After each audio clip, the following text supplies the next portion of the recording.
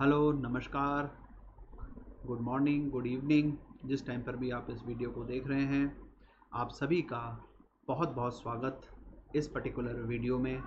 आज की इस मास्टर क्लास में तो कैसे हैं बच्चों आप सब लोग? कैसा फील कर रहे हैं? अभी हम लोगों ने जो है न्यूटन लॉज स्टार्ट किया है।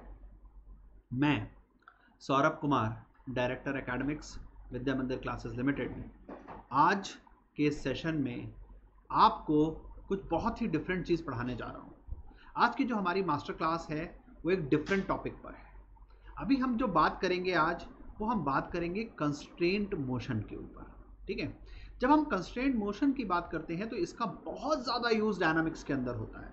और इसको फिर आगे कहीं भी यूज़ कर सकते हैं, इसको वर्क एनर्जी में भी यूज़ कर सक के प्रॉब्लम्स भी डिज़ाइन कर सकते हैं रोटेशन के प्रॉब्लम भी डिज़ाइन कर सकते हैं। तो बहुत सारी मल्टीपल जगहों पे हम कंस्ट्रेंट मोशन का इस्तेमाल करके अलग अलग तरीके के क्वेश्चंस बना सकते हैं। ठीक है? तो इसमें कोई बहुत ज़्यादा आपको डायनामिक्स के नॉलेज की ज़रूरत नहीं है। इसमें आपको सिर्फ़ और सिर्फ़ एक चीज़ की ज़रूरत है, वो है कॉमन सेंस की, जो आप सबके पास है। ठीक है? तो आज का ये लेक्चर जो है, ये जो मास्टर क्लास है, ये कंस्टेंट मोशन के बारे में बात करेंगे हम लोग। और कंस्टेंट मोशन क्या होता है? सबसे पहले सोचेंगे कंस्टेंट मोशन क्या होता है? हमको, आपको सबको बचपन से इंग्लिश में वर्ड कंस्ट्रेंट पता है, क्या है? कंस्ट्रेंट मतलब क्या? कि कोई चीज़ जो आपके लिए रुकावट बन रही है है ना? कोई चीज़ जो आपको कंस्ट्रेन कर रही है। जैसे इस समय की बात करें, आजकल की बात करें तो क्या है भाई? कोरोना चल रहा है, कोविड पैंडेमिक चल रहा है। तो इसने बड़े सारे कंस्ट्रेंट्स हम लोगों की लाइफ में ले आया है, कि हम घर से बाहर नहीं निकल सकते, हम कहीं घूमने नहीं जा सकते, हम बाहर का खाना नहीं खा सकते। सिमिलरली हम अगर फिज़िकली स्कूल जाना चाहें तो स्कूल नहीं जा सकते। और बट तो सब चीज़ क्या है? ऑनलाइन है। तो वही ऐसे ही चीज़ जो है कंस्ट्रेंट मोशन के अंदर है कि मोशन के अंदर क्या क्या रुकावटें हैं, क्या चीज़ें हैं जो एक को दूसरे से कंस्ट्रेंट कर रही हैं, और हम उसका कैसे बेनिफिट ले सकते हैं अपने प्रॉब्लम्स को सॉल्व करने के लिए। जाने अनजाने में हम लोग कंस्टेंट मोशन वैसे भी यूज़ करते हैं। तो चलिए, बात शुरू करते हैं कंस्टेंट मोशन ठीक है? तो देखिए, जैसे आप लोगों ने अभी पिछले क्लास में न्यूटन लॉस की या क्लासेस में कुछ कुछ एग्जांपल्स करे होंगे न्यूटन लॉ को अप्लाई करने के।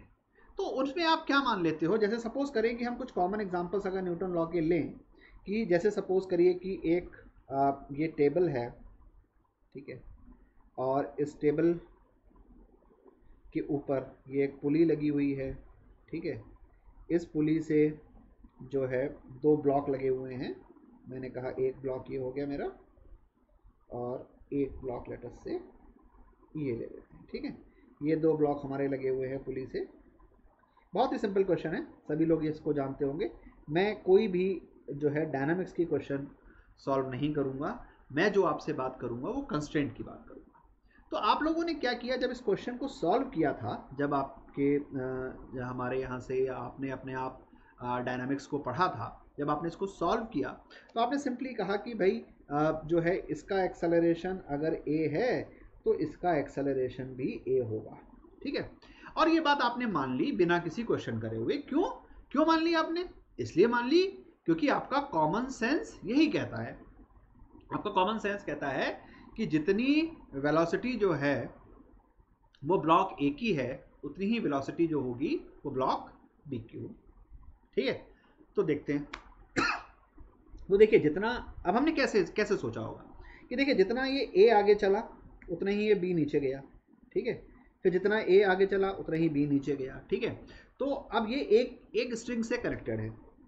यानी जितनी इस पॉइंट की वेलोसिटी उतनी इस पॉइंट की वेलोसिटी उतनी इस पॉइंट की वेलोसिटी उतनी इस पॉइंट की, उतनी इस पॉइंट की, उतनी इस पॉइंट की, उतनी सबका वेलोसिटी जो है सेम है।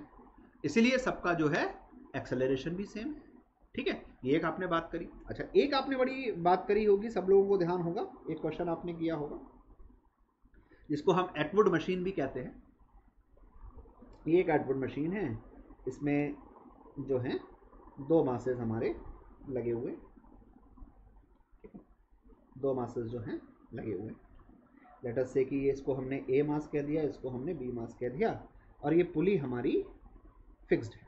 ये पुली हमारी फिक्स्ड है। ठीक है? तो हम तब भी यही कहते हैं कि भाई जितना ये ऊपर जाएगा, उतना ही ये नीचे जाएगा। अगर ये x ऊपर गया तो ये x नीचे जाएगा। इसलिए अगर इसकी वेलोसिटी v ऊपर है तो इसकी वेलोसिटी v नीचे है। तो आपने कैसे माना ये बात को? फिर आपने कहा कि जितना इसका एक्सेलरेशन a ऊपर है, उतना ही एक्सेलरेशन इसका a नीचे है। आपने कैसे माना? क्योंकि आपने अभी तब तो कॉमन सेंस से सोच लिया था, जब आपको पढ़ाया गया। और अगर हम देखें तो ये इनके लिए कंस्टेंट कौन है? स्ट्रिंग है। ए और बी के लिए कंस्टेंट कौन है? ए और बी के लिए कंस्टेंट जो है, वो स्ट्रिंग है। अब स्ट्रिंग में क्या है कि ये स्ट्रिंग जो है, ये पॉइंट जितना ऊपर गया, ये पॉइंट जितना ऊपर गया, ये पॉइंट जितना ऊपर गया, ये पॉइंट जितना ऊपर गया, उतना ये पॉइंट नीचे आया, ये पॉइंट नीचे आया, ये पॉइंट नीचे आया, ये पॉइंट नीचे आया, ये पॉइंट नीचे आया, उतना ही बी का मास जो है, वो नीचे आ गया। ठीक है? तो दोनों का डिस्प्लेसमेंट जो सेम हुआ और ए और बी को कंस्टेंट किसने किया? एक स्ट्रिंग ने किया। ठीक है? तो इस तरीके से जो है, हम हर अलग अलग सिचुएशन में अलग अलग तरीके के कंस्टेंट्स आपको मिलेंगे। तो कंस्टेंट के जो क्वेश्चंस होते हैं, उसको मैं तीन कैटेगरी में डिवाइड कर रहा हूँ। ठीक है? तो कंस्टेंट मोशन के जो क्वेश्चंस हैं कंस्टेंट मोशन के जो क्वेश्चंस हैं, उसको हम तीन पार्ट में डिवाइड कर लेते हैं, तीन टाइप्स में डिवाइड कर लेते हैं। एक बात होगी जनरल कंस्ट्रेंट्स एक बात हो गई हमारी स्ट्रिंग या रॉड कंस्ट्रेंट स्ट्रिंग या रॉड कंस्ट्रेंट और तीसरी बात हो गई हमारी वेज कंस्ट्रेंट तो आज जो है हम लोग जनरल कंस्ट्रेंट और स्ट्रिंग कंस्ट्रेंट के ऊपर बात करेंगे। ठीक है? वेज कंस्ट्रेंट की बात आज के लेक्चर में नहीं कर पाएँगे। ठीक है? आज के लेक्चर में जो है, क्योंकि एक दिन में बहुत ज़्यादा पढ़ाने से भी क्या होता है कि आप लोगों को समझ में थोड़ा सा कम होता है है ना? तो ज़्यादा चीज़ हो जाती है समझने के लिए। तो कम समझें, अच्छे से समझें। ठीक है? यही हमारा जो है, वो पूरा प्रयास है कि जो भी चीज़ हम आपको इस मास्टर क्लास से दें, वो आपको 100 परसेंट जो है, वो समझ में आनी चाहिए। चलिए। अब हम देखते हैं कि जो है कि स्ट्रिंग या वेज कंस्टेंट को हम किस तरीके से यूज़ करेंगे। देखिए, एक बात समझिए। स्ट्रिंग हो हमारे पास या हमारे पास रॉड हो। ठीक है? या तो हमारे पास स्ट्रिंग हो या हमारे पास रॉड हो ठीक है? अच्छा। अब स्ट्रिंग है तो स्ट्रिंग मान लीजिए ऐसी है ठीक है? जैसे सपोज़ करिए कि रॉड है तो भाई रॉड जो है थोड़ी मोटी हो गई ऐसे हो गई ठीक है? अच्छा। अब इसके दो एंड हैं स्ट्रिंग के ठीक है? लेट अस से स्ट्रिंग के ये दो एंड हैं ठीक है? एक एंड मान लीजिए ए एक एंड मान लीजिए बी सिमिलरली रॉड के लिए भी कह दीजिए कि रॉड के भी दो एंड हैं। एक एंड है ये, एक एंड है बी ठीक है? अच्छा अब हम ये सभी जानते हैं अपने जो हमने जो भी चीज़ पढ़ी है अभी तक फिजिक्स के अंदर, कि स्ट्रिंग दो पार्ट दो मासेस को, दो पार्टिकल्स को, दो बॉडीज को, दो ऑब्जेक्ट को चला सकती है बट उसके लिए स्ट्रिंग जो होनी चाहिए, वो टॉट होनी चाहिए। यानी एकदम स्ट्रेट होनी चाहिए, उसके अंदर कोई स्लैकनेस नहीं होनी चाहिए, कोई ढीलापन नहीं होना चाहिए। ये बात हम लोग जानते हैं। सिमिलरली जैसे कोई रॉड है, जैसे मान लीजिए ये पैन है मेरे पास, ये एक रॉड है, ठीक है?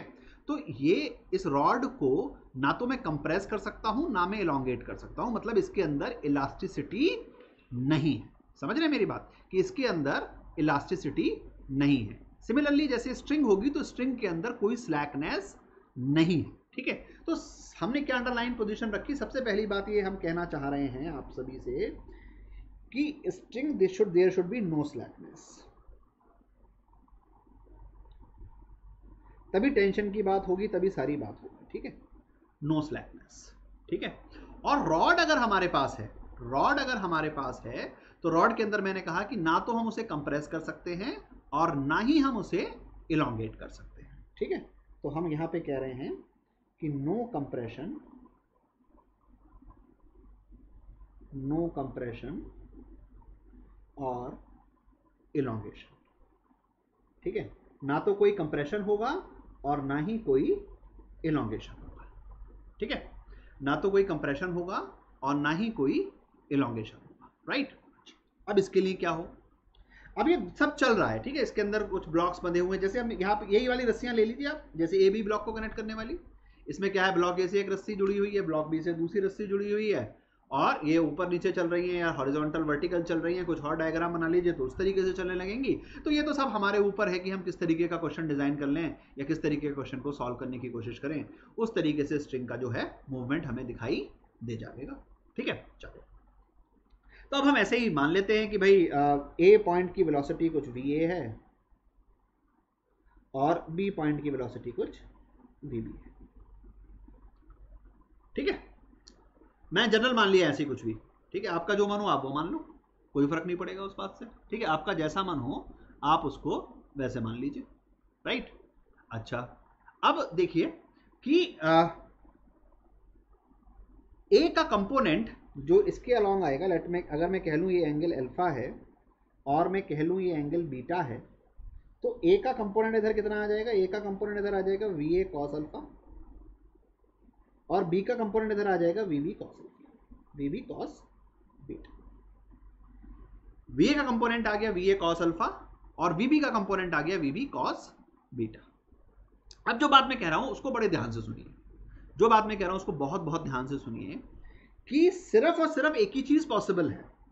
और वो चीज़ क्या है? वो चीज़ है कि V A cos alpha has to be equal to V B cos beta. VA cos alpha has to be equal to VB cos beta. क्यों?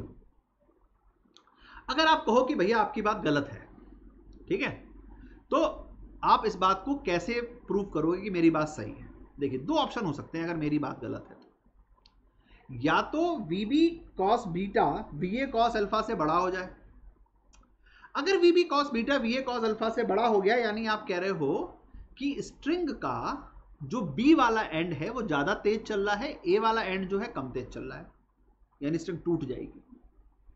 अगर बी तेज चलेगा और ए हल्के चलेगा तो स्ट्रिंग खिंच जाएगी, और खिंच जाएगी तो टूट जाएगी, क्योंकि हम कैसी स्ट्रिंग लेते हैं? हम लेते हैं इन एक्सटेंसिबल स्ट्रिंग हम कैसी स्ट्रिंग लेते हैं? इन एक्सटेंसिबल स्ट्रिंग फिर से सुनिए, हम कैसी स्ट्रिंग लेते हैं? इन एक्सटेंसिबल स्ट्रिंग ठीक है? तो अगर बी एंड जो है ए एंड से तेज चलेगा तो स्ट्रिंग टूट जाएगी। अच्छा। दूसरी बात क्या हो सकती है कि भाई आप कहो कि ए एंड बी एंड से तेज चलने लगे। बी मान लीजिए चल रहा है एक सेंटीमीटर और एक चल जा रहा है तेज में, दो सेंटीमीटर तो क्या होगा? तो स्ट्रिंग जो है वो क्या कर जाएगी? स्लैक हो जाएगी। स्ट्रिंग क्या हो जाएगी? स्लैक हो जाएगी। तो उसके अंदर टेंशन खत्म हो जाएगी। अब वो दो मासों को एक साथ नहीं चला सकती। चलाने के लिए दो मासों को जोड़ के, दो ऑब्जेक्ट को, दो पार्टिकल को, दो बॉडीज को जोड़ के चलाने के लिए स्ट्रिंग के अंदर हमेशा क्या रहनी चाहिए? टेंशन रहनी चाहिए। समझ रहे हैं क्या रहनी चाहिए? टेंशन रहनी चाहिए। समझ में आ रही है मेरी बात? चलो। अब जो है, इसका मतलब ये है कि जो मैं कह रहा हूँ, वही एक बात सत्य है कि V A cos alpha is equal to V B cos beta यानी ये भी मतलब ये तो फॉर्मूला लिख दिया हमने। रूल क्या हुआ? रूल हुआ कि द डायरेक्शन जो वेलोसिटी है एंड्स की स्ट्रिंग की, वो अलोंग द स्ट्रिंग जो होगी, वो क्या रहनी चाहिए? सेम रहनी चाहिए। ठीक है? So the velocity the velocity of the ends of the string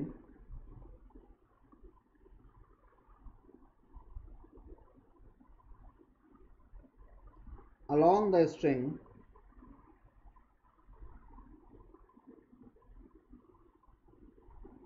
should be same.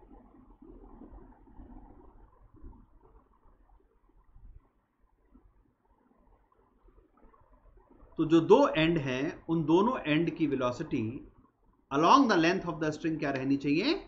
Same रहनी चाहिए। ठीक है? सेम सेम लॉजिक किसके लिए लगेगा? रॉड के लिए लगेगा। चलिए रॉड पे देखें जरा, रॉड के बारे में बात करें। रॉड के इस एंड की वेलोसिटी ले लें वी ए इस एंड की वेलोसिटी ले लें वी जिस डायरेक्शन जिसका मना है वो ले लें, ठीक है?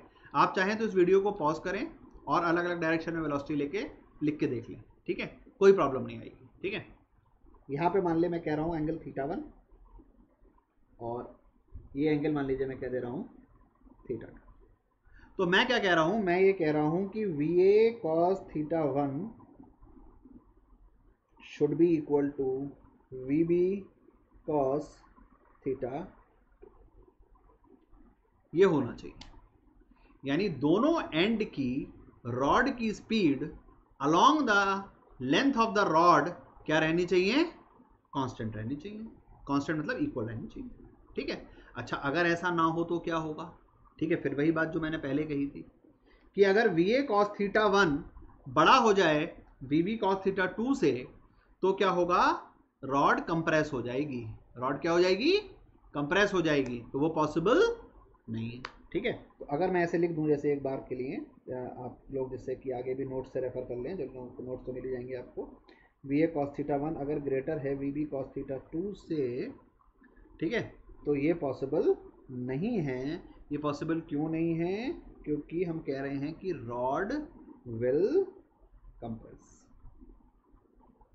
रॉड क्या हो जाएगी? कंप्रेस हो जाएगी। ठीक है? अच्छा दूसरी बात क्या हो जाए? अगर हम कह दें कि V B cos theta two is greater than V A cos theta one ये हो जाए। तो ये बात भी पॉसिबल नहीं है। ये बात भी पॉसिबल नहीं है। तो क्या होगा अगर ऐसा हो जाए? तो रॉड विल इलोंगेट अगर देखिए बी एंड की वेलोसिटी ए एंड की वेलोसिटी से ज़्यादा हो जाए तो रॉड क्या हो जाएगी? खिंच के लंबी हो जाएगी। जो पॉसिबल नहीं है रॉड की लेंथ तो क्या रहनी है? कांस्टेंट रहनी है। यही कंस्टेंट है। स्ट्रिंग की लेंथ क्या रहनी है? कांस्टेंट रहनी है। यही कंस्टेंट है। कंस्टेंट आपके पास क्या है? आपके पास आपके पास जो एक चीज़ है जिसे आप चेंज नहीं कर सकते हो वो क्या है? वो ये है कि length of the rod and length of the string can not be change this is only constant with you ठीक है? सो so, इस केस में क्या होगा? रॉड विल इलोंगेट तो इसलिए ये नहीं होगा। ठीक है? इसलिए सिर्फ़ और सिर्फ़ क्या हो सकता है? सिर्फ़ और सिर्फ़ ये हो सकता है कि भाई दोनों एंड की स्पीड जो है along the length of the rod जो रहे वो सेम रहे। तो यानी रॉड और स्ट्रिंग के कंस्ट्रेंट्स ये कहते हैं कि अगर ए, कोई भी मोशन हो रहा है इसके अंदर तो रॉड और स्ट्रिंग दोनों के, दोनों एंड की velocity along the length of the rod और the string should remain same ठीक है, इतनी बात सबको समझ में आती है? तो जब कभी भी आप इसको करेंगे तो क्या करेंगे भैया? इसके, जो है, दोनों एंड की वेलोसिटीज को, उसका कंपोनेंट ले लेंगे किसके अलोंग उस रॉड या स्ट्रिंग के लेंथ के अलोंग एम आई राइट चलो। अब बात आती है कि ज्ञान हो गया ये। ठीक है? अब ज्ञान का क्या फ़ायदा जब तक न्यूमेरिकल ना हो? न्यूमेरिकल कब होंगे? जब न्यूमेरिकल करेंगे। तो चलिए न्यूमेरिकल करते हैं। ठीक है? और जो न्यूमेरिकल मैं चूज़ कर रहा हूँ, वो न्यूमेरिकल ऐसे वैसे न्यूमेरिकल नहीं है खाली। वो न्यूमेरिकल आईआईटी में आए हुए न्यूमेरिकल हैं। ठीक है? और आईआईटी के भी एडवांस एग्ज़ाम में आए हुए न्यूमेरिकल हैं। यानी हम असली क्वेश्चनों की बात करने जा रहे हैं। ठीक है? तो कुछ वैसे, वहाँ से आईआईटी के आए हुए क्वेश्चन और कुछ हमारी तरफ़ से क्वेश्चन जो आपको क्या लेके आएँगे एक्सपर्टाइज लेके आएँगे जनरल स्ट्रिंग रॉड कंस्टेंट्स ठीक है? उसके बाद पुली कंस्टेंट्स की बात करते हैं। फिर न्यूटन लॉ के क्वेश्चंस आपकी जो रेगुलर क्लास चल रही है, उसमें आपको कराए ही जा रहे हैं। ठीक है? चलिए। चलिए, एक क्वेश्चन लेते हैं। बड़ा फ़ेमस क्वेश्चन है। आई थिंक मतलब काफ़ी सारे लोग जगहों पर ये क्वेश्चन आपको दिखेगा। ठीक है? इसका यूज़ तो अब से लेके और आप कह सकते हो कि रोटेशन तक चलता रहेगा। बट जो वेलोसिटी का रिलेशन हम आज कर देंगे, वो तो आज ही होगा है ना? तो उसका मज़ा जो है, वो आज का ये ऐसे समझ लीजिए कि फ्लोर है और दीवार है। जैसे ज़मीन है और दीवार है, कोई भी आपके कमरे का, कहीं में भाई एक बार ज़मीन देखें और एक बार दीवार देखें तो ऐसे ही दिखेगा। और उसमें कोई भी एक रॉड एक सीढ़ी, कुछ भी आप ऐसे खड़ा कर दें। आपके घर में कोई डंडा हो रॉड हो सीढ़ी हो, उसको आप खड़ा करके देखें तो कैसा दिखता है? ऐसे ही दिखता है भाई कि उसका एक एंड जो होता है, वो ज़मीन पे होता है और दूसरा एंड जो होता है, वो दीवार पे होता है। ठीक है? इसमें काइनामेटिक्स डायनामिक्स रोटेशन सब के क्वेश्चन जो हैं, वो बनते हैं। कारण सब चीज़ों के जो हैं क्वेश्चन जो हैं, वो फ्रेम होते हैं। ठीक है? अच्छा। हम आज ये सब तो क्वेश्चन वोश्चन तो फ्रेम नहीं करेंगे। हमारा काम तो आज क्या है? सिर्फ़ कंस्टेंट पढ़ने का काम। हमारा आज काम क्या है? कंस्टेंट पढ़ने का काम। ठीक है? ये एंगल मान लीजिए हमें दिया हुआ है थीटा ज़मीन के साथ जो ये रॉड ये जो सीढ़ी, जो भी चीज़ है, ये कितना एंगल बना रही है? थीटा एंगल बना रही है। ठीक है? चलो इसके दो एंड हो गए। ये एंड ए हो गया और ये एंड बी हो गया। हमें किसी एक एंड की वेलोसिटी पता है और दूसरे एंड की वेलोसिटी निकालनी ठीक है? सपोज़ कर लीजिए कि क्वेश्चन आपसे कहता है कि ए जो है वी ए वेलोसिटी से नीचे आ रही है। क्वेश्चन आपसे कह रहा है कि एंड ए जो है वी ए वेलोसिटी से नीचे आ रहा है और प्रॉब्लम आपसे पूछ रहा है क्वेश्चन आपसे पूछ रहा है find the velocity find the velocity of end B find the velocity of end B ठीक है? कंस्टेंट क्या है? कंस्टेंट क्या है क्वेश्चन में? क्वेश्चन में कंस्टेंट है कि length of the rod can not be changed question में कंस्टेंट क्या है? कि length of the rod can not be changed ठीक है? चले, बहुत बढ़िया बात। अभी हमने आपको बताया, क्या बताया भाई? हमने बताया कि along the rod along the string क्या रहता है? दोनों एंड की वेलोसिटी जो रहेगी, वो क्या रहेगी? सेम रहेगी। ठीक है? अच्छा ये एंगल थीटा है तो इतना तो सभी लोग जानते होंगे कि ये एंगल जो होगा 90 माइनस थीटा हो जाएगा। ये एंगल जो है 90 माइनस थीटा हो जाएगा। अच्छा अच्छा ये भी आप लोग अपनी जो है कॉमन सेंस से कह सकते हो।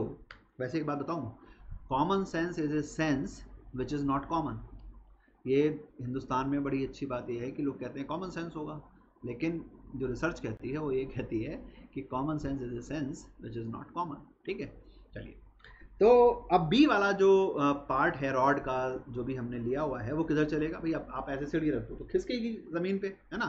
खिसकेगी तो इसका मतलब बी पॉइंट जो है, आगे की ओर चलेगा। ठीक है तो यानी वेलोसिटी जो स्पीड हो गई बी की, वो आगे की तरफ़। स्पीड जो हो गई बी की, वो किधर हो गई?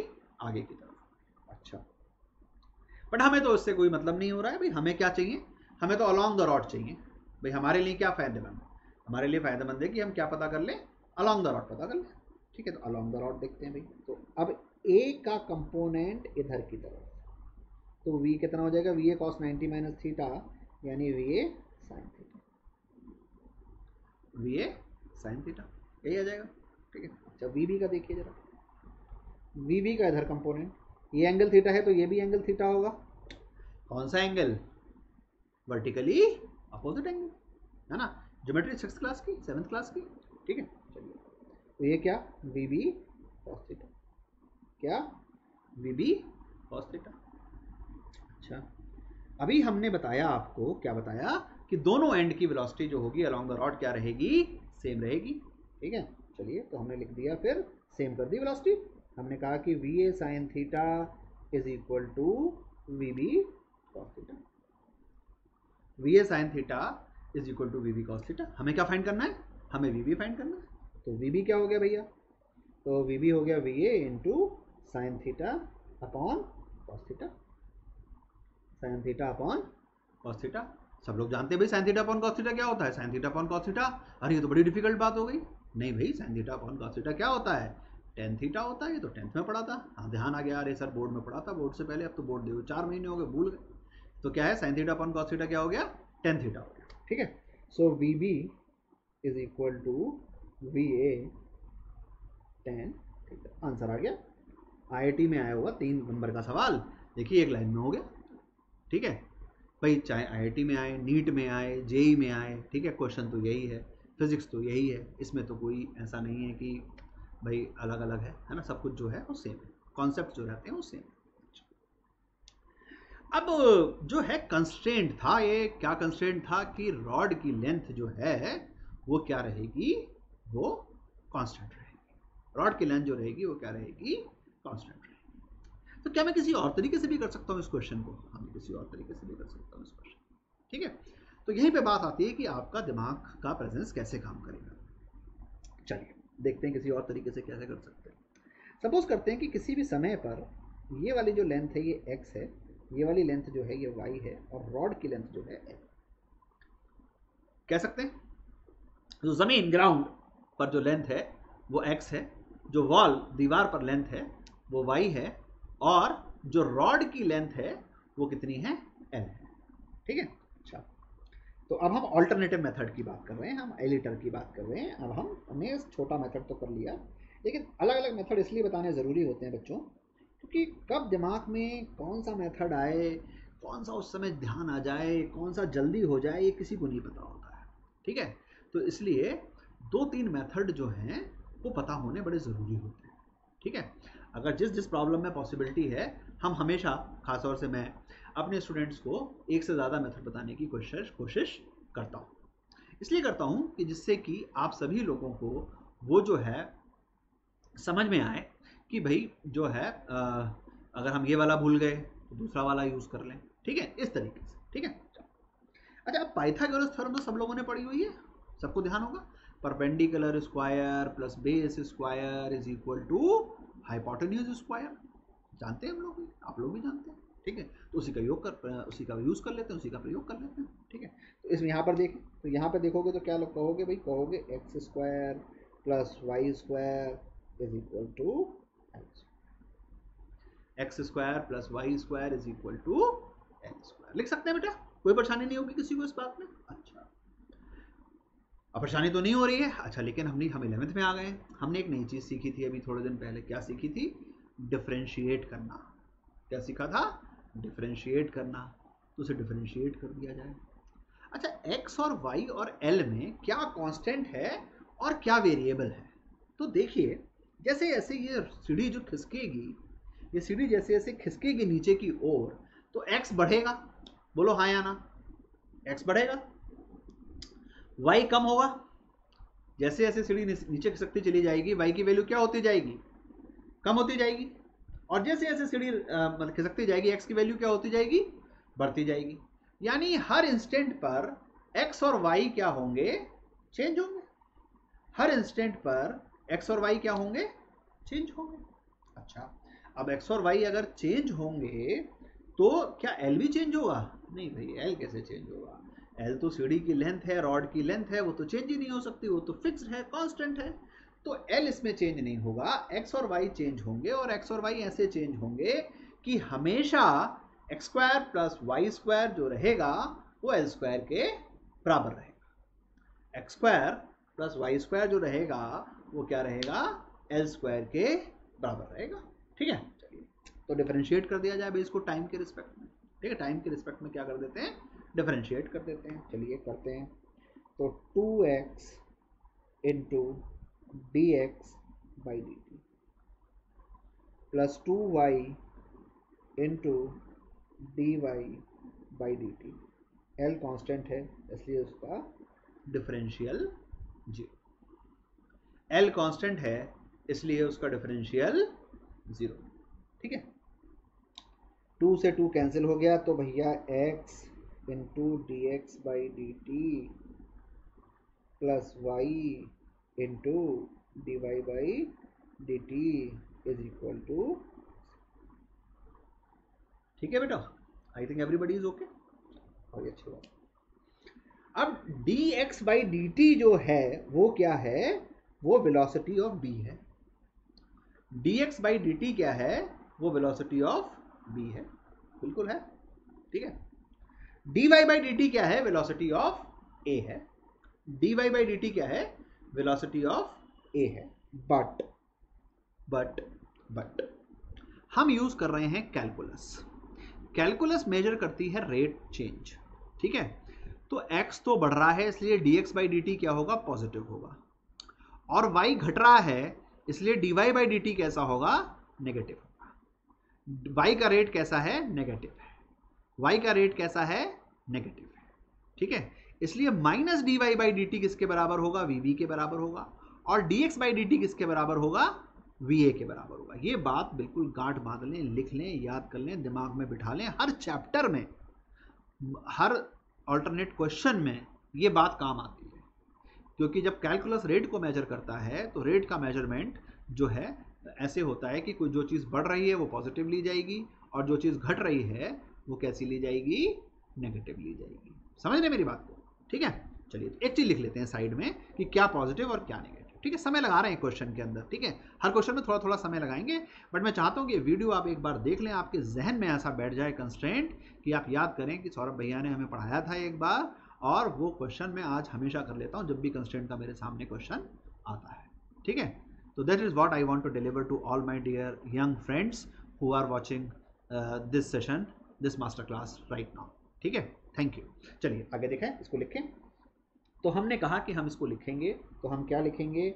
हम भाई लिख लेंगे एक साइड में ऐसे करके कि D X by D T जो है, वो वी ए है। D X by D T जो है, वो वी ए है। और minus D Y by D T जो है, वो वी ए है? रीज़न समझ में आ गया क्यों? मैं शॉर्ट में लिख दूँ क्या? एक्स इंक्रीज कर रहा है और वाई डिक्रीज कर रहा है। ऐसे लिख सकते हैं। अपवर्ड एरो का मतलब इंक्रीजिंग डाउनवर्ड एरो का मतलब डिक्रीजिंग ठीक है? अपवर्ड एरो का मतलब इंक्रीजिंग डाउनवर्ड एरो का मतलब डिक्रीजिंग ठीक है? समझ गए बात? चलो। अब फटाफट इसके प्लेसमेंट कर दी जाए। हमें D Y by D T निकालना था तो हम लोग लिख देते हैं इसको। आ, मैं ऐसे लिख देता हूँ कि D X by D T to minus Y upon X D Y by D T तो बाई डी टी हो गया बी जो मुझे निकालना था is equal to minus D Y by D T हो गया मेरा D Y by D T हो गया मेरा सॉरी ये मैंने ना उल्टा लिख दिया, ये वी ए है और ये वी बी ठीक है?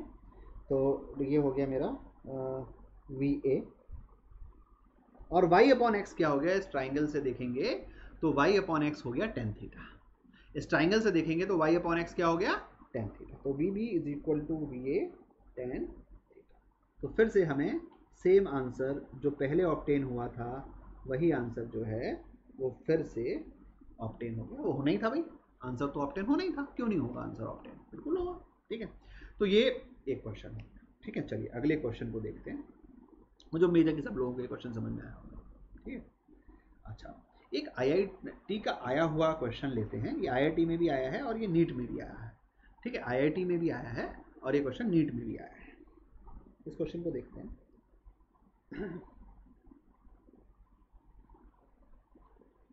आपको देख के बड़ा मज़ा आएगा क्योंकि आपको लगेगा कि बड़े सस्ते में नंबर जो हैं, वो मिल जाते हैं, अगर हम ध्यान से पढ़ाई करें तो। ठीक है? बहुत सारे लोग ना ध्यान से पढ़ाई नहीं करते हैं और फिर सोचते हैं कि भाई नहीं हो रहा है, नहीं सिलेक्शन हो रहा है है ना? और दुनिया भर की बातें करने लगते हैं लोगों की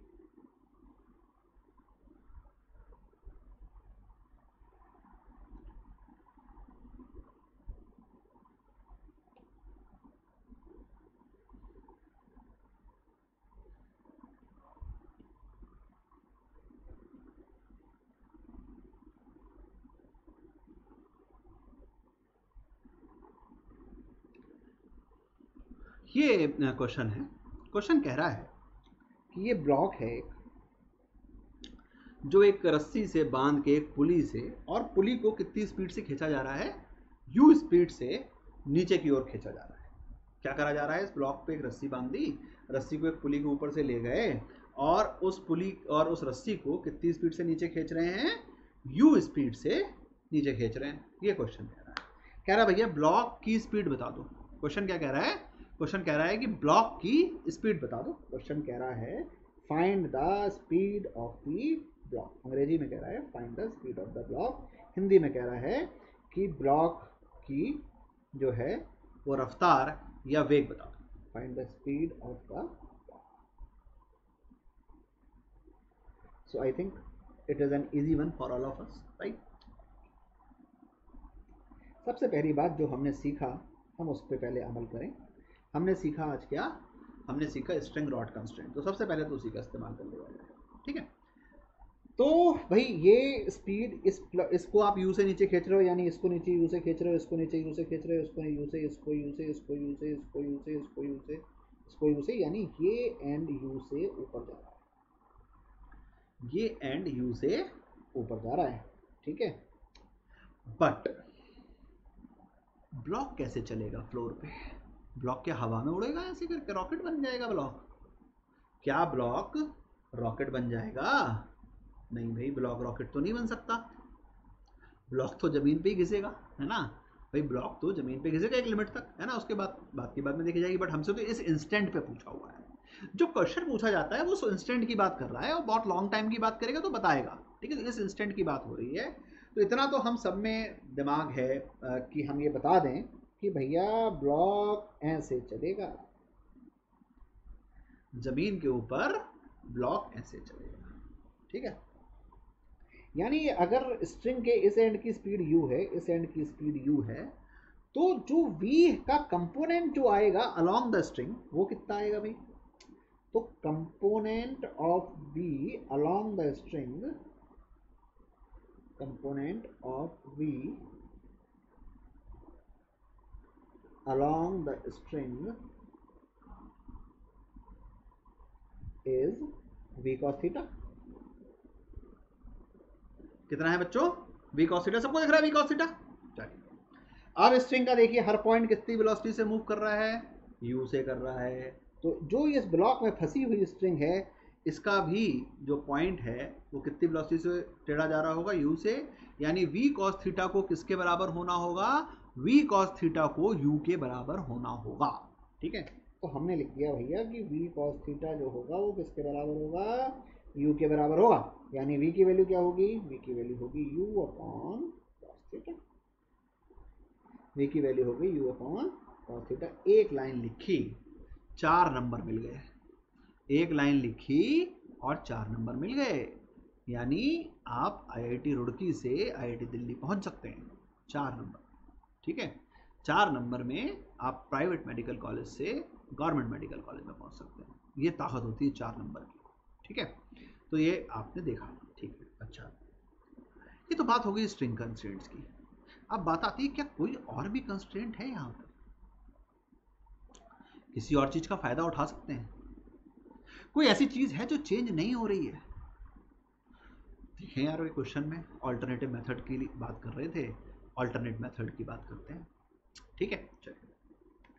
तो भाई देखें क्वेश्चन देखो क्वेश्चन क्वेश्चन देखते रहो। क्या चीज़ समझ में आई क्वेश्चन क्वेश्चन देख के ये समझ में आ रहा है कि भाई चाहे कुछ भी हो जाए,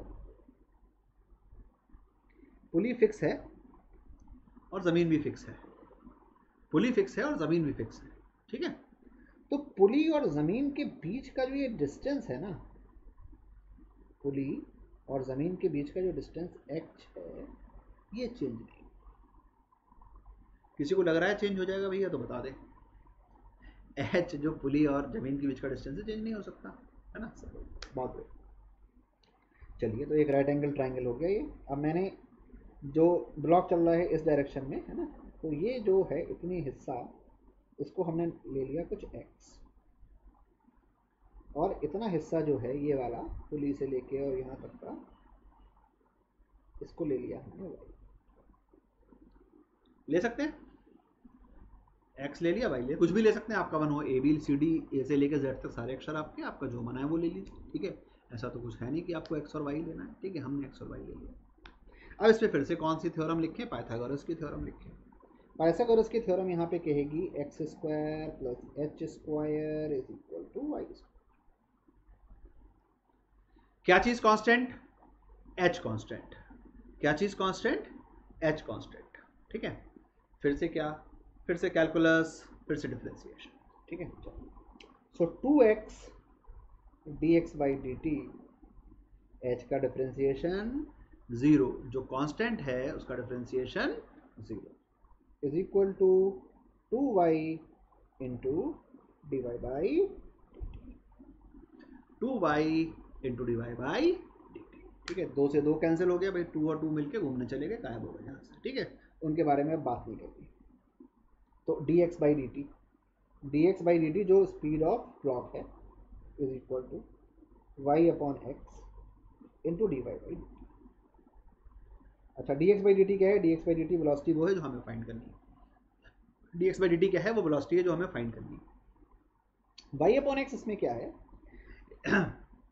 एक्स अपॉन वाई होता है कॉस थीटा यानी वाई अपॉन एक्स है सेक थीटा यानी वन अपॉन कॉस थीटा ठीक है? और d y by d t क्या है? D y by d t वो है, जिस स्पीड से ये वाली, ऊपर वाली स्ट्रिंग खिंच रही है। किस स्पीड से खिंच रही है? हर पॉइंट देखो, दिखाया है लाल से मार्क करके, कितनी स्पीड से खिंच रहा है? यू स्पीड से। कितनी स्पीड से खिंच रहा है? यू स्पीड से। तो क्या लिख दिया जाए भाई u divided by cos theta आ गया सेम आंसर दोबारा से। फिर से क्या मिल गया आपको? वही आंसर मिल गया भैया यू अपॉन कॉस थीटा और यू अपॉन कॉस तो अब ये दो सवाल करके एक बात तो समझ में आ गई हमारे। कि हमने आपको रोप स्ट्रिंग कंस्टेंट क्यों सिखाया? रोप स्ट्रिंग कंस्टेंट हमने आपको इसलिए सिखाया जिससे कि आप जो है क्वेश्चन को आसानता से कर सकें, बिना कैलकुलस के इस्तेमाल के कर सकें। क्योंकि बच्चे ग्यारहवीं क्लास में मैंने देखा है कैलकुलस में घबराते हैं, डरते हैं, है ना? तो जितने हम अवॉइड कर सकें कैलकुलस को, उतनी अवॉइड करते हैं, ठीक है? कर सकते हैं, बहुत ही अच्छी बात है, हमने आपको दोनों मेथड बता दिए, है ना? ऐसा तो मैंने नहीं कहा कैलकुलस यूज़ नहीं करना कैलकुलस आप बिल्कुल यूज़ करिए, ठीक है? मेरे लिए तो बड़ा अच्छा है कि बच्चे कैलकुलस यूज़ करना सीखें, ठीक है? पर थोड़ा सा एटलीस्ट मुझे लगता है कि ग्यारहवीं क्लास के और ख़ास तौर से शुरू के जो चार पाँच महीने होते हैं, उसमें कैलकुलस का डर बच्चों के मन में बहुत होता है, ठीक है? कठिन उतनी नहीं होती है बट डर होता है, ठीक है? तो उस डर की वजह से क्या होता है कि बच्चे कैलकुलेशन नहीं कर पाते उसको डिफ्रेंशिएट नहीं कर पाते इंटीग्रेट नहीं कर पाते लिमिट्स नहीं रख पाते और so and and so right तो इसलिए हम लोग, ये जो मेथड है, ये उन बच्चों के लिए ख़ास तौर से है, जो मैथ्स को मैं कैलकुलस नहीं कर रहे हैं, ठीक है, या कैलकुलस नहीं करना चाहते ठीक है? तो और देखिए, दूसरी बात क्या है? टाइम बच रहा है। एक लाइन में हो जा रहा है। ये तीन तीन, चार चार लाइन लिखनी पड़ रही है। फिर आपको प्लस माइनस भी ध्यान रखना पड़ेगा कि लेंथ इंक्रीज हो रही है तो प्लस लेंथ डिक्रीज हो रही है तो माइनस तो ये सारी बातों का भी जो है हमें ध्यान रखना होगा ठीक है? चलिए तो अब हम आगे वाले क्वेश्चन जो हैं, वो सिर्फ़ और सिर्फ़ स्प्रिंग स्ट्रिंग रॉड कंस्टेंट से करेंगे कैलकुलस से नहीं। ठीक है? हमने आपको मेथड दोनों सिखा दिए कि आपके मन में ये ना रहे कि सौरभ भैया ने आपको ये मेथड नहीं बताया तो भैया ने आपको मेथड सारे बता दिए, दोनों मेथड बता दिए, यहाँ पे जो लग सकते हैं। ठीक है? और अब हम जो क्वेश्चंस करने जा रहे हैं, वो हम बिना कैलकुलस के क्वेश्चंस को करेंगे। ठीक है? देखते हैं एक और क्वेश्चन बहुत ही सुंदर क्वेश्चन है ये। आई थिंक मुझे ये क्वेश्चन अच्छा लगता है ये दो रिजिड सपोर्ट हैं हमारे पास। और इन दोनों रिजिड सपोर्ट के बीच में एक रॉड है। इन दोनों रिजिड सपोर्ट के बीच में एक रॉड है, ठीक है? इस रॉड में एक रिंग है। इस रॉड में एक रिंग है। और इस रिंग से एक स्ट्रिंग बनी हुई है। इस, से स्ट्रिंग बनी है एक स्ट्रिंग ये वही स्ट्रिंग जो है एक पुली पे से पास होती हुई नीचे जाती है और एक ब्लॉक से कनेक्ट है। ठीक है? ये मैं इस पुली को फिक्स कर देता हूँ। ये पुली यहाँ पर फिक्स है। ठीक है? अच्छा। ये एंगल कुछ हम ले लेते हैं थर्टी डिग्री ये हमने कुछ एंगल ले लिया थर्टी डिग्री ठीक है? और ये हमने कह दिया ये रिंग चल रही है इधर कुछ टेन मीटर पर सेकेंड कुछ रिंग इधर चल रही है राइट वर्ड कितने से? दस मीटर प्रति सेकंड यानी टेन मीटर पर सेकंड से तो हमें बताना है कि ये जो ब्लॉक है ब्लॉक जो है, कितने से नीचे हमें ये बताना है कि ब्लॉक जो है, वो कितनी स्पीड से नीचे जाएगा? यानी जो क्वेश्चन पूछ रहा है हमसे, वो कह रहा है कि फाइंड द वैल्यू ऑफ़ यानी हमें क्या बता दो? V की वैल्यू बता दो। ठीक है?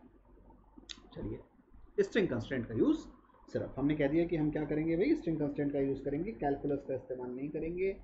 जिन लोगों को मन हो, उन लोगों ने मेथड सीख लिया है। वो कैलकुलस का इस्तेमाल कर सकते हैं। जो लोग कैलकुलस का इस्तेमाल करना चाहें, उनकी जानकारी के लिए मैं बता दूँ कि यहाँ पे कंस्टेंट ये है कि पुली और रॉड के बीच की डिस्टेंस चेंज नहीं हो सकती है, क्योंकि पुली भी फिक्स है और रॉड जो है, वो भी दो कॉलर्स के बीच में फिक्स्ड है। ठीक है? दो कॉलर या दो ऑपरेटेड सपोर्ट जो भी नाम इसको देना चाहें, वो दे सकते हैं। ठीक है? कॉलर थोड़ा साइंटिफिक नेम होता है सपोर्ट जो है थोड़ा देसी नाम होता है। ठीक है? अब देखिए कि भाई ये इधर चल रहा है, ठीक है, ये इधर चल रहा है, ठीक है। तो भैया ये देखो, ये वी से नीचे वी से, ये वी से नीचे, ये भी वी से, ये भी वी से, ये भी वी से, ये भी वी से, ये भी वी से, ठीक है। अब ये जो है इधर चल रही है, इस, इधर तरफ़ चल रही है, ठीक है। तो इसका कंपोनेंट इधर अगर हम लेंगे तो क्या लिखेंगे हम? कि v is equal to ten cos thirty क्या लिख लेंगे? V किसके बराबर होना चाहिए? टेन कॉस थर्टी ठीक है, समझ में आ रहा है ना? ये इस, ये एंड कितना? v से तो ये वाला एंड इधर जा रहा है तो इसका कंपोनेंट इधर कितना आ जाएगा? इसका कंपोनेंट इधर आ जाएगा टेन कॉस कंपोनेंट आ जाएगा ten cos thirty cos thirty कितना होता है? कॉस थर्टी कितना होता है? ध्यान करो कितना होता है? रूट थ्री बाई टू ठीक है? So v is equal to ten into root three by ठीक है? तो इस v की वैल्यू बेटा हो गई कितनी? Five root three metre per second. इसकी वेलोसिटी कितनी होगी बेटे?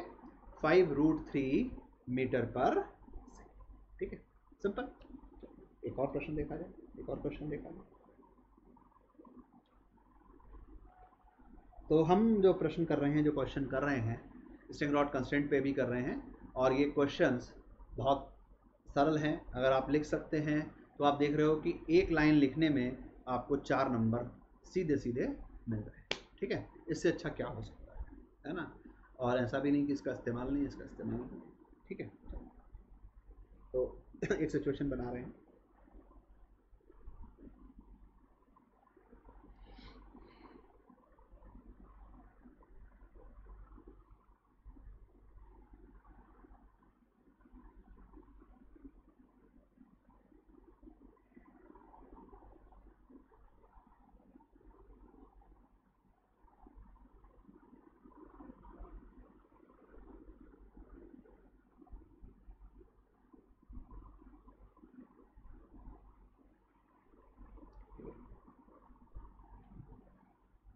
तो ये देखिए ब्लॉक के ऊपर से स्ट्रिंग गई। और स्ट्रिंग जो है ऐसे जाके इस ब्लॉक पे अटैच स्ट्रिंग जो है ऐसे जाके इस ब्लॉक पर अटैच हो गई। ठीक है? हमें दिया हुआ है कि ये ब्लॉक जो है इधर सिक्स मीटर प्रति सेकंड से चल रहा है। सिक्स मीटर प्रति सेकंड से चल रहा है। ठीक है? तो और ये एक हमें दिया हुआ है यहाँ पर ये एंगल जो है सिक्सटी तो इस इस, ब्लॉक की स्पीड बताएँ जो ब्लॉक ग्राउंड पर है उसकी स्पीड बताई जाए। ठीक है? तो जो ब्लॉक ग्राउंड पर है उसकी हमें स्पीड बतानी है।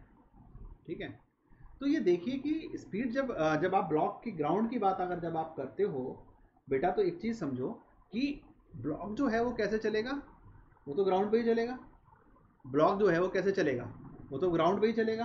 ठीक है? अच्छा ब्लॉक जब ग्राउंड पे चलेगा तो किधर चलेगा भाई इधर लेफ़्ट की तरफ़ चलेगा ठीक है तो जो ब्लॉक की स्पीड हो गई वो इधर कितनी हो गई बी हो ब्लॉक की स्पीड जो इधर हो गई वो कितनी हो गई बी हो गई ठीक है अच्छा अब आप देखो कि ये सिक्स मीटर से लेफ़्ट की तरफ़ चल रहा है यानी ये पॉइंट सिक्स से चल रहा है ये पॉइंट सिक्स से चल रहा है ये पॉइंट सिक्स से चल रहा है ये सिक्स से चल रहा है ये सिक्स से चल रहा है ये सिक्स से चल रहा है ये सिक्स से चल रहा है ये सिक्स से चल रहा है ये सिक्स से चल रहा है ये सिक्स से चल रहा है। तो यानी जो v का कंपोनेंट इधर आएगा along द स्ट्रिंग उसकी वैल्यू कितनी होनी चाहिए उसकी वैल्यू सिक्स होनी चाहिए। जो v का कंपोनेंट along द स्ट्रिंग आएगा, उसकी वैल्यू कितनी होनी चाहिए? सिक्स होनी चाहिए। यानी हम कह रहे हैं कि v cos 60 should be equal to six चलिए। cos 60 कितना होता है? वन बाई टू ठीक है, बहुत बड़ा हम लोगों को ना, बड़े सारे बच्चों को पढ़ाता हूँ, उनको वैल्यूज़ याद नहीं रहती हैं। तो वैल्यूज़ तो याद रखनी पड़ेंगी भाई, है ना? तो सिक्स टू ज़ा कितना हो गया बेटा? ट्वेल्व मीटर पर तो इस, इस ब्लॉक की वेलोसिटी कितनी हो गई? 12 मीटर पर सेकंड ठीक है? मज़ा आया? और कराते हैं क्वेश्चन एक क्वेश्चन और देखते हैं। आ, ये क्वेश्चन भी जो है आ, मुझे ध्यान नहीं है किसी एग्ज़ाम में आया हुआ है। कौन सा एग्ज़ाम है ये तो मुझे इतना दिमाग में भी नहीं है। ये क्वेश्चन किसी एग्ज़ाम में आया हुआ है और बहुत फ़ेमस क्वेश्चन है। इस क्वेश्चन को देखा जाए जरा।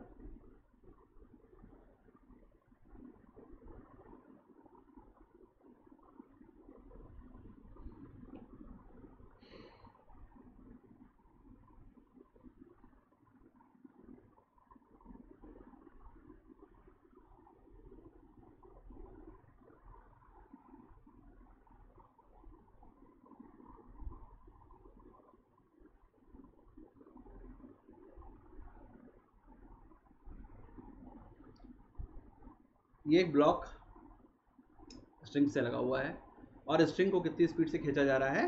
यू स्पीड से खींचा जा रहा है, ठीक है? तो क्वेश्चन कह रहा है find the speed of the block find the speed of the block और स्ट्रिंग को कितने से खींचा जा रहा है बच्चों? यू से खींचा जा रहा है। चलिए तो फिर से क्या यूज़ करा जाए? फिर से यूज़ करा जाए स्ट्रिंग रॉड कंस्ट्रेंट कि यानी velocity of the ends of the string और the points on the string along the string will always be same ठीक है? इसको यू से, आप कोई भी तरफ़ से देख लीजिए, एक ही बात है, ठीक है?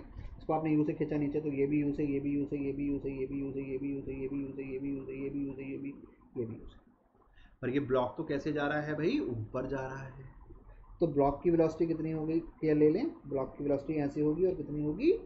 बी ब्लॉक की वेलोसिटी कितनी होगी? कुछ भी मान लीजिए बी मैंने मान ली, आपका जो मन हो वो मानिए, बस ऊपर की ओर होगी। ये बात जो है वो तय है कि ब्लॉक की वेलोसिटी जो होगी, वो कितनी होगी? वो ऊपर की डायरेक्शन में। अच्छा अगर ऊपर की डायरेक्शन में होगी तो इसका अलॉन्ग द स्ट्रिंग कंपोनेंट कितना हो गया? अलॉन्ग द स्ट्रिंग कंपोनेंट हो गया इसका वी कॉस और ये किसके बराबर होना चाहिए? ये फिर से u के बराबर होना चाहिए, क्योंकि स्ट्रिंग का हर पॉइंट किससे मूव कर रहा है? U से मूव कर रहा है। इसलिए वी कॉस थीटा को किसके बराबर होना पड़ा? U के बराबर होना पड़ा। तो इसलिए v की वैल्यू क्या हो गई? इसलिए v की वैल्यू जो हो गई, भाई वो हो गई u अपॉन कॉस इसलिए v की वैल्यू क्या हो गई? U अपॉन cos थीटा ठीक है, मज़ा आया? चार नंबर का क्वेश्चन फिर से। ठीक है। एक और प्रश्न देखा जाए। एक और क्वेश्चन देखते हैं। ठीक है?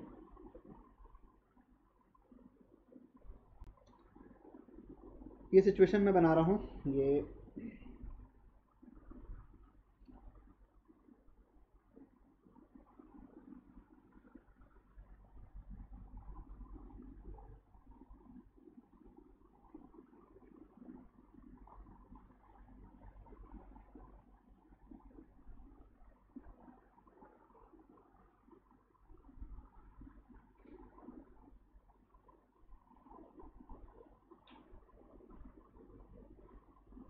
तो ये देखेंगे कि यहाँ पे हम क्या कर रहे हैं कि ये जो है, एक पुलिस से दो ब्लॉक अटैच्ड हैं, ठीक है?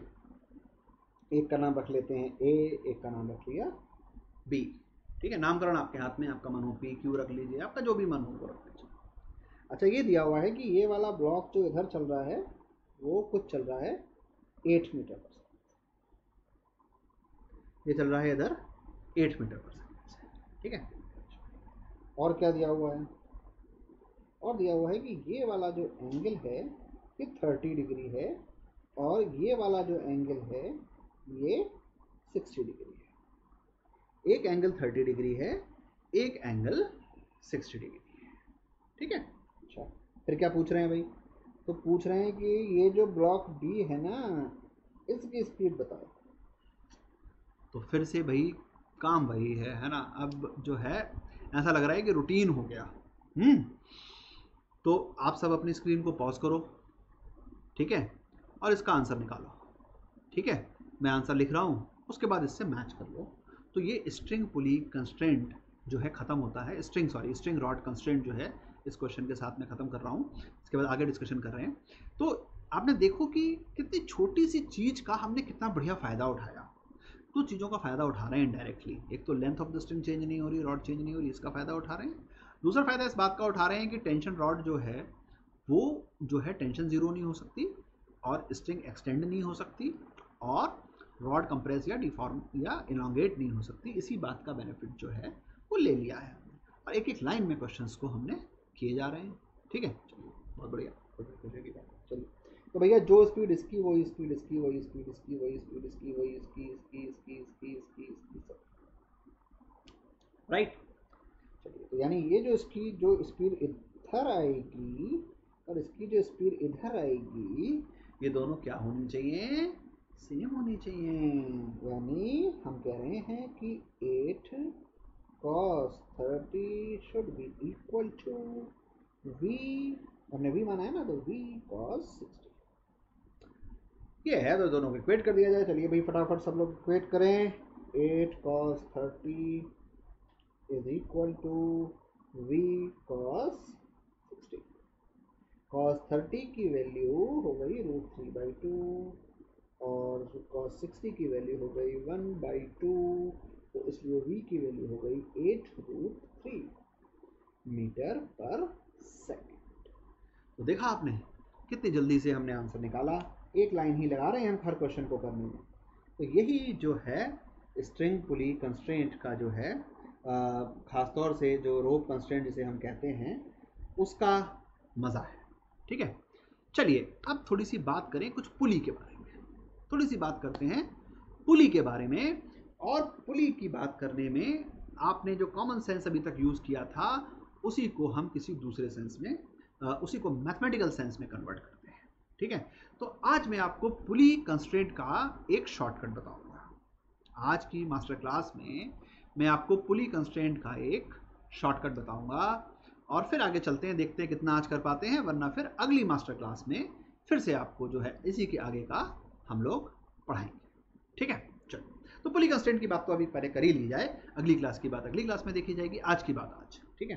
तो जैसा मैंने आपको शुरू शुरू में बिल्कुल लेक्चर के बताया कि हम लोग किसी चीज़ जिसको हम कुछ एटवर्ड मशीन कहते हैं, उसमें क्या होता था?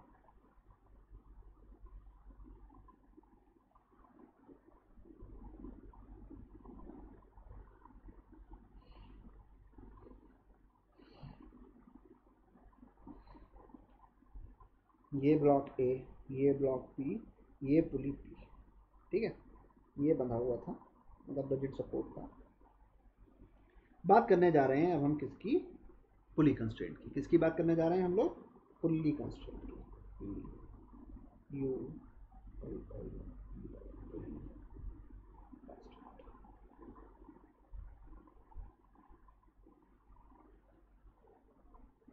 पुली कंस्टेंट की हम लोग बात करते हैं। चलिए। तो हमने ये कहा था कि देखिए अब जब एटवुड मशीन बनी होती है तो जो मास नीचे होता है, ये माना जाता है वो भारी है और वो नीचे की तरफ़ चलेगा।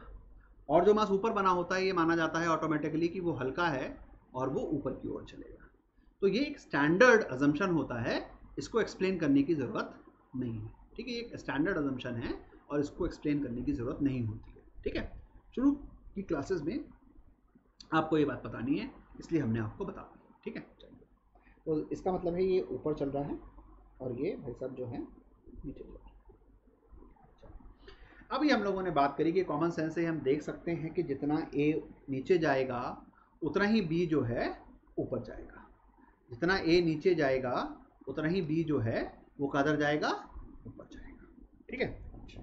तो हमने कहा ये कि भाई हम ये कहना चाह रहे हैं डायरेक्टली इनडायरेक्टली कि velocity of A with respect to pulling is equal to velocity of अभी अभी मैं ना पूरा नहीं लिख रहा हूँ, जरा मैं अभी आधा लिखा है। Velocity of B with respect to pulley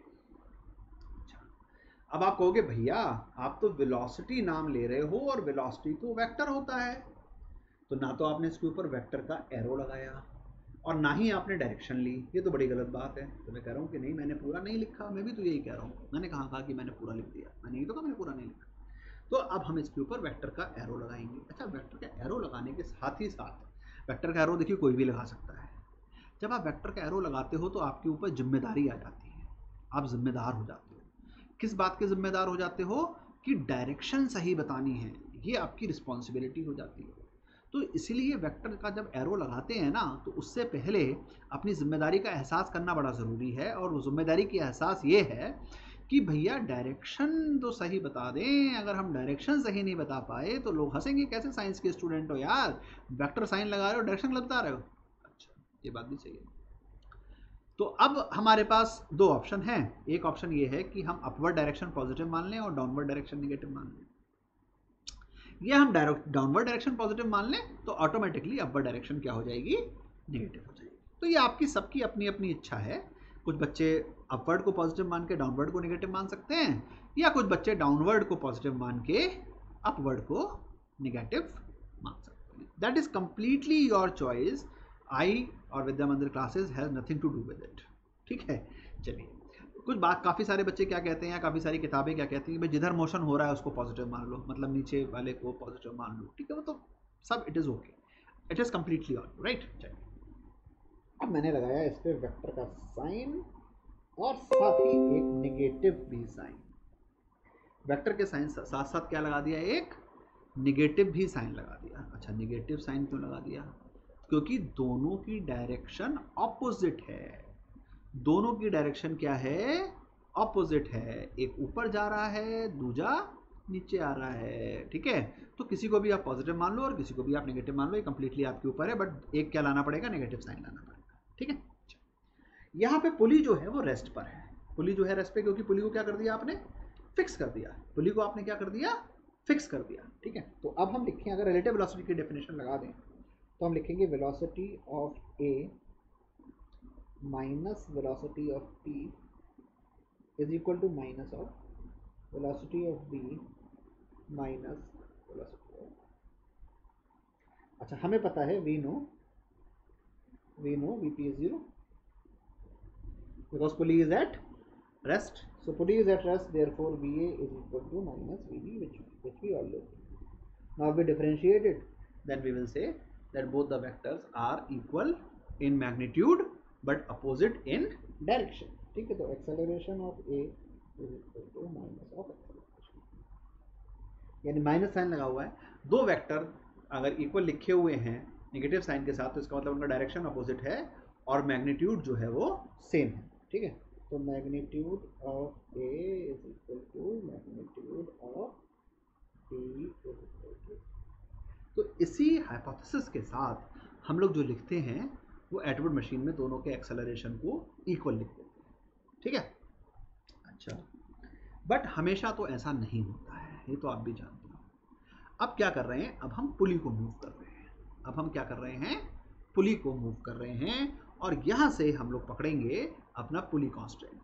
ठीक है? चलिए। एक जनरल सिचुएशन बना रहे हैं आप सभी के सामने और इसी से हम अब आगे के डेरिवेशंस कर डालेंगे। ठीक है?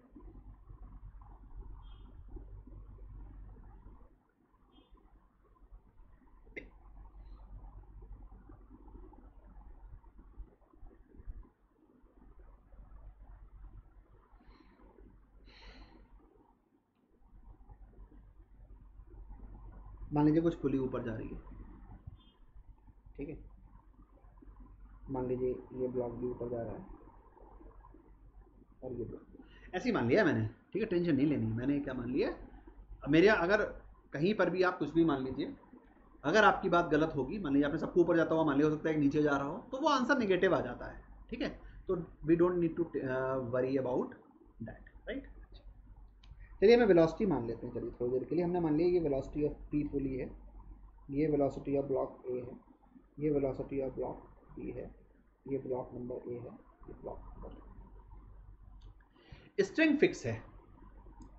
स्ट्रिंग की लेंथ जो है, वो फिक्स है। वो चेंज नहीं हो सकती, आप भी जानते हो, मैं भी जानता हूँ, सब लोग जानते हैं। भाई स्ट्रिंग इतनी बड़ी थी, उतनी बड़ी रहेगी तो वो अपने आप बड़ी तो होनी जाएगी, ना उसे कोई चोरी करके लेगा, जो छोटी हो जाएगी, है ना, उतनी रहेगी।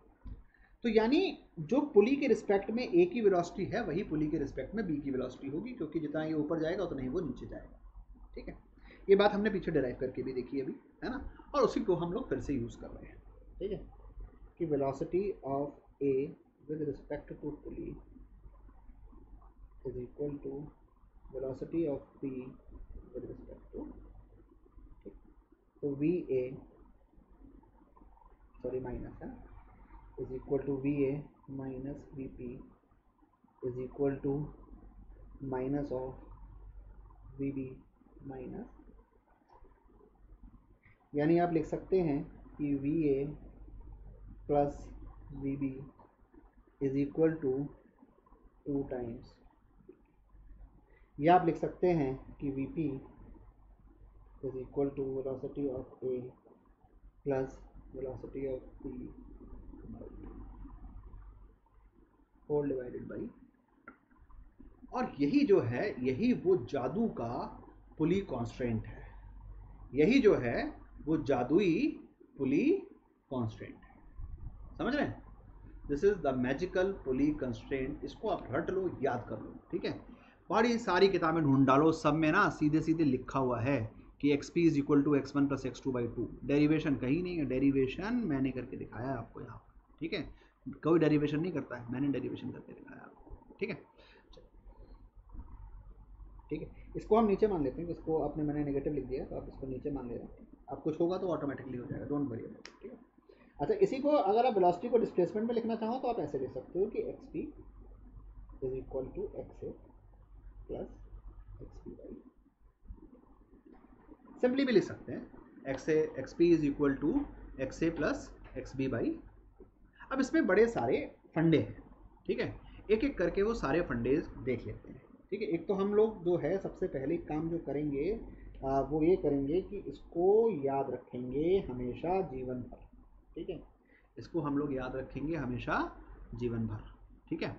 इसको फिर से डिफ्रेंशिएट कर लो वेलोसिटी को तो एक्सेलरेशन भी मिल जाती है ठीक है? तो इसको फिर से डिफ्रेंशिएट कर ले कोई बंदा तो वो कह सकता है कि A P sorry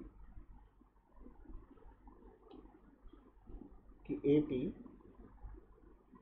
is equal to a one plus a two by a p is equal to a one plus a two by ठीक है? तो ये जब आप डायनामिक्स के न्यूमेरिकल करेंगे ना तो ये आपको बिल्कुल लाइफ सेविंग ड्रग की तरह होगा, जो आपको काम आएगा, कि आप फटाफट क्वेश्चन को कर पा रहे होंगे a p is equal to a one plus a two by two करके, ठीक है? तो ये बड़े, बड़ी जो है, कामगर चीज़ है। बट इसमें कुछ कॉशंस हैं, कुछ कुछ प्रिकॉशंस हैं, जो आप लोगों को लेने पड़ेंगे या जो ध्यान रखने पड़ेंगे जब क्वेश्चन हम लोग कर रहे हैं, ठीक है? तो उसको एक हम लोग देख लेते हैं। एक मिनट के अंदर अंदर सारी चीज़ें दिख जाती हैं। तो देखिए ज़रा कि हमने जो करा, हमने जो डेरिवेशन किया है, उसमें देखिए, अगर हमें हमें ना सबका डायरेक्शंस को देखना पड़ेगा बेटा, समझ रहे हैं? हमें क्या करना पड़ेगा? सबके डायरेक्शंस को देखना पड़ेगा। तो मैं कुछ कुछ सिचुएशंस बना दे रहा हूँ। ये हमारा एक्स पी हो गया। ये इस स्ट्रिंग का मूवमेंट हो गया एक्स वन। ये इस स्ट्रिंग का मूवमेंट हो गया एक्स ये देखो यहाँ पर क्या है बेटा? तीनों एक ही डायरेक्शन दिख रहे हैं सबको? तीनों कैसे हैं? अपवर्ड ठीक है? एक में ऐसे ले रहा हूँ। देखिए जरा ये एक्स पी है अपवर्ड है।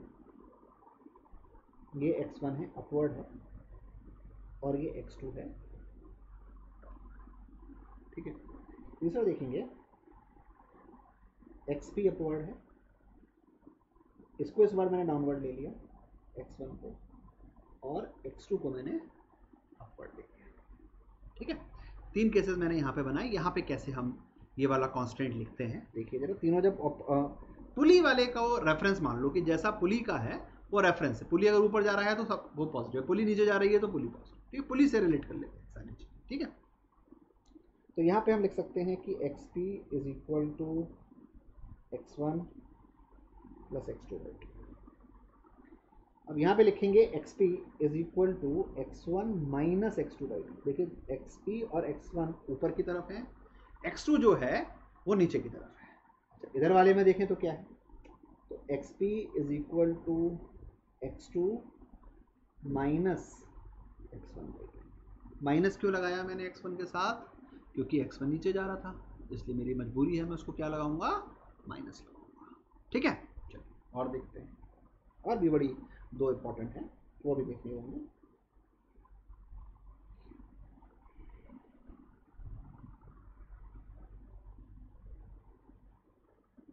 ये न्यूमेरिकल में बड़ा काम आता है।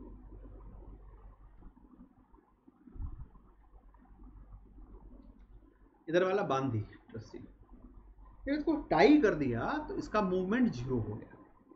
इसको टाई कर दिया तो इसका मूवमेंट क्या हो गया? ज़ीरो हो गया। तो जब हम लिखेंगे तो हम लिखेंगे x p is equal to zero plus x two by two यानी हम लिखेंगे x p is equal to x two by two समझ रहे हैं? अच्छा सिमिलरली दूसरी तरफ़ भी रस्सी बाँध सकते हैं। दूसरी तरफ़ रस्सी बाँध देते हैं।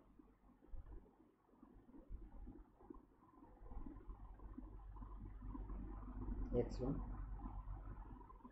ये बन गई रस्सी। यहाँ लिखेंगे तो क्या लिखेंगे? X p is equal to x one plus zero by two यानी x p is equal to x one by two ठीक है? बात समझ में आ रही है? जो पुली फिक्स है, जो मूवमेंट नहीं कर सकती है, उसकी डिस्प्लेसमेंट को क्या ले लिया जाएगा? ज़ीरो ले लिया जाएगा। अच्छा तो जो एटवर्ड वाली पुली थी उसका क्या होगा फिर अगर हमने ये सारा फंडा सीख लिया? एटवर्ड वाली पुली जो थी देखिए ज़रा एटवर्ड वाली जो पुली थी वो क्या है कि ये फिक्स थी यहाँ पे। ठीक है ये एक्स वन अभी बड़ा मज़ा आ रहा है आपको। इस बार एक्स पी ज़ीरो हो गया है। तो zero is equal to x one plus x two by यानी x one is equal to minus x two यानी एक ऊपर चलेगा तो दूसरा नीचे चलेगा। X one is equal to minus x मतलब एक अगर ऊपर चल रहा है तो दूसरा नीचे चल रहा है। यही इस मेथड की ब्यूटी है कि सब कुछ विद साइन आपको देता है, ठीक है? आप गलती करोगे भी ना तो भी ये करने नहीं देगा, है ना? आप गलत अगर ले भी लोगे तो ये मेथड जो है आपको गलत होने नहीं देगा। एक्स आपका निकल आया डिस्प्लेसमेंट का रिलेशन निकल आया, एक बार डिफ्रेंशिएट करिए वेलोसिटी अगली बार डिफ्रेंशिएट करिए acceleration this is the beauty of this method right चलिए अच्छा एक इसका हम लगा के देख लेते हैं क्वेश्चन के अंदर, ठीक है? एक क्वेश्चन मैं बना रहा हूँ, देखते हैं कि कितना बना पाते हैं इसको